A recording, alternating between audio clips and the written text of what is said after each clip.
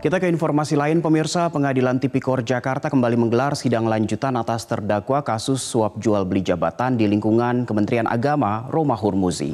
Agenda sidang mendengarkan putusan sela. Informasi selengkapnya kita bergabung dengan Jane William di Pengadilan Tipikor Jakarta. Jane, selamat siang. Bagaimana jalannya sidang siang hari ini? Selamat siang Dade, sidang putusan sela atas terdakwa kasus suap jual beli jabatan di lingkungan Kementerian Agama Roma Hurmusi sudah selesai. Dan dalam sidang tadi majelis hakim memutuskan menolak nota keberatan atau eksepsi yang diajukan dari Roma Hormuzi maupun juga dari pihak kuasa hukumnya. Adapun poin-poin yang disampaikan dari uh, nota keberatan atau eksepsi yang diajukan dari Romi yaitu terkait uh, adanya muatan politik dalam perkara korupsi yang menjerat dirinya. Uh, Romi menilai bahwa uh, penyidik KPK ini terkesan uh, memproses hukumnya karena ada muatan politik yang berdampak pada berkurangnya jumlah suara yang diperoleh dari P3 pada saat uh, pemilu 2019.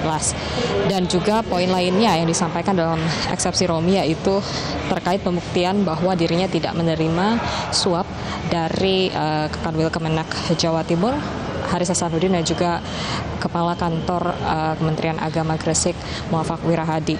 Uh, Majelis Hakim memutuskan untuk tidak dapat menerima nota keberatan yang disampaikan Romi uh, atas poin-poin uh, yang disampaikan tadi uh, dan dikatakan untuk terkait pembuktian apakah betul Romi tidak menerima suap itu harus dibuktikan uh, pada saat jalannya persidangan. Selain itu untuk dari poin-poin uh, eksepsi yang diajukan dari pihak kuasa hukum Romi, uh, pihak kuasa hukum Romi mengajukan uh, mengatakan bahwa uh, beranggapan KPK tidak berwenang untuk memproses uh, perkara suap yang menjerat Romi tersebut.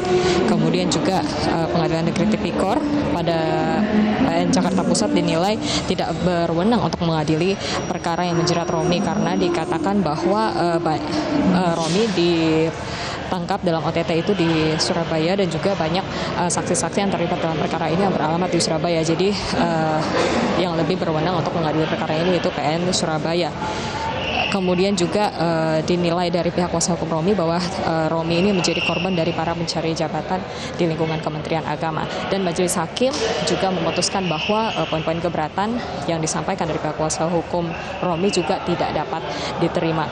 Jadi sekali lagi pada kesimpulannya adalah Majelis Hakim menolak eksepsi yang diajukan baik dari Romi maupun dari pihak kuasa hukumnya. Itu artinya uh, persidangan terhadap uh, perkara suap jual beli jabatan lingkungan Kemenak atas terdakwa Romi Hurmuzi ini akan kembali dilanjutkan Rabu pekan depan dengan agenda pemeriksaan saksi-saksi.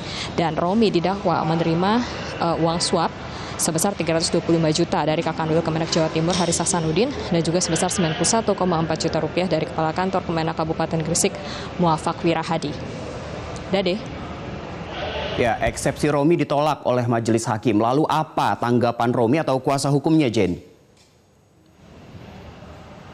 Iya, tadi pada saat uh, selesai persidangan dari pihak kuasa hukum Romi, Baktir Ismail mengatakan bahwa pihaknya akan mengajukan banding terhadap uh, putusan majelis hakim menolak eksepsi dari Romi dan juga dari kuasa hukumnya. Tadi pada saat usai persidangan kami juga sempat memintai pendapat dari Romi.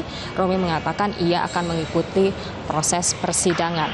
Tadi uh, kuasa hukum Romi, Baktir Ismail juga merasa uh, pihaknya keberatan dengan putusan majelis hakim untuk uh, menolak eksepsi yang diajukan Romi. Namun sekali lagi pihaknya akan tetap uh, mengikuti proses hukum yang berjalan. Itu artinya mereka akan mengikuti uh, proses persidangan selanjutnya akan dilanjutkan Rabu pekan depan dengan agenda pemeriksaan saksi. Mereka juga mengatakan akan menghadirkan saksi-saksi yang dapat meringankan atau bisa memberikan kesaksian bahwa Romi tidak menerima suap atau Romi tidak berwenang dalam mengatur eh, jabatan-jabatan uh, di lingkungan Kementerian Agama atau nanti akan menghadirkan saksi ada charge yang akan dihadirkan di persidangan begitu. Untuk sementara kami kembalikan ke Dade di studio. Baik, Jane William melaporkan langsung dari Pengadilan Tipikor di Jakarta.